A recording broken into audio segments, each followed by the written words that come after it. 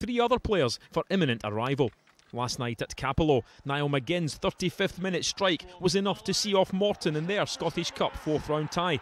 Celtic will now meet Stenhousemuir in the last 16, pending the result of Dunfermline's expulsion appeal, which will be heard by the SFA tomorrow.